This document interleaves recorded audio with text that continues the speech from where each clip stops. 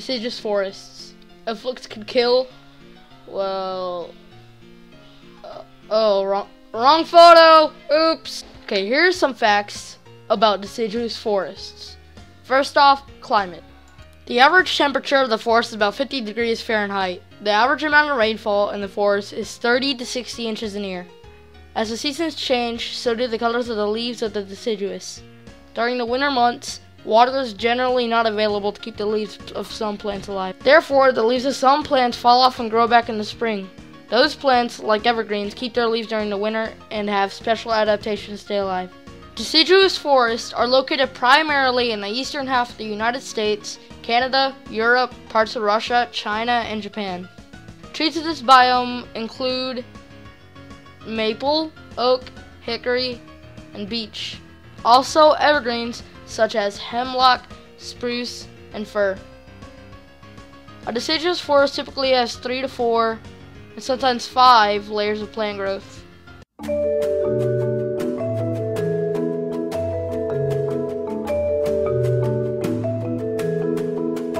A wide variety of mammals, birds, insects, and reptiles can be found in the deciduous forest biome. Mammals that are commonly found in the deciduous forest include bears, raccoons, squirrels, skunks, wood mice, and in the U.S., deer can be found in these forests. While bobcats, mountain lions, timber wolves, and coyotes are natural residents of these forests, they have been nearly eliminated by humans because of the threat to human life. Other animals that were native to this biome, such as elk and bison, have been hunted to near extinction.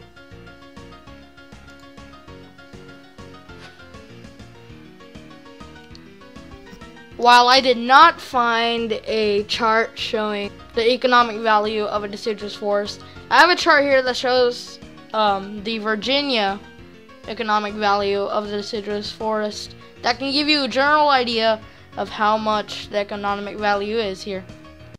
Thank you guys for watching, and I'll see you in the next video.